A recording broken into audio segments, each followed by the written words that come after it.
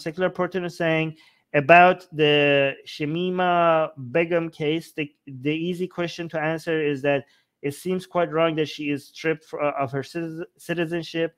Okay, yes, we we are against that. You're you can't just remove people's citizenship just because they committed a crime. You punish them because you, they committed a crime, but you don't remove their citizenship. This is the whole. It defeats the whole point of what it means to be a citizen, right? You you you don't you don't lose your rights when you commit a crime. You just get punishment. You know, like the fact your rights came with the understanding that you okay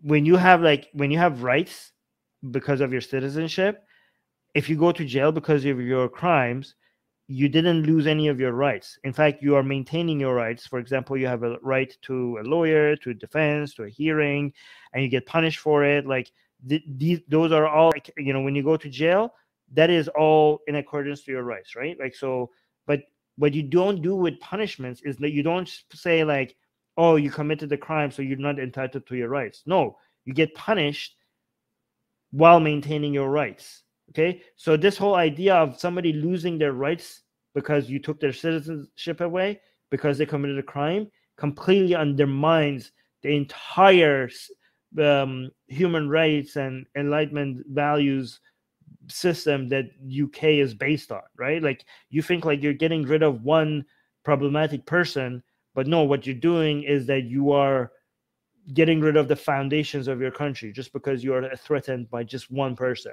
which you could easily just put in prison for their crimes, right? So obviously that's an easy that they easy answer that it's wrong to take their citizenship away. Um, I mean, I don't even know what to tell you anymore.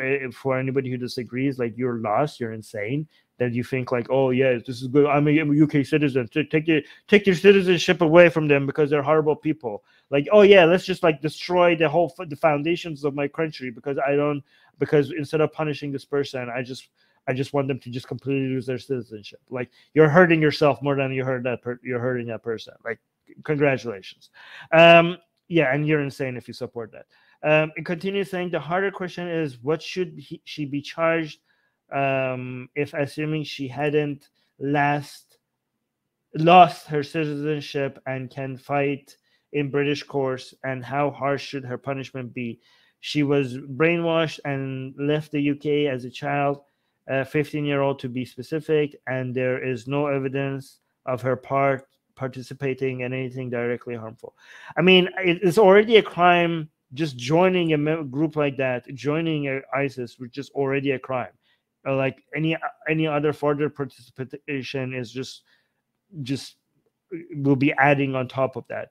Um i understand that 15 being 15 will make will mean that your the punishment should be much more, more or less just like with any other crime.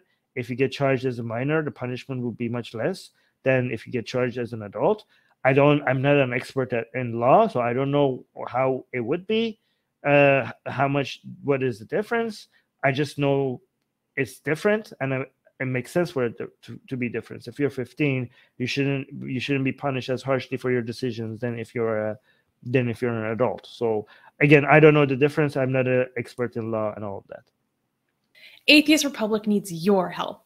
We've been the target of many legal attacks by Hindu nationalists ever since our founder, Armin Navabi, blasphemed against Hindu deities.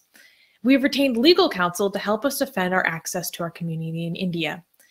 We have started a fundraiser that will help us afford to tackle many legal issues, including judicial harassment and censorship.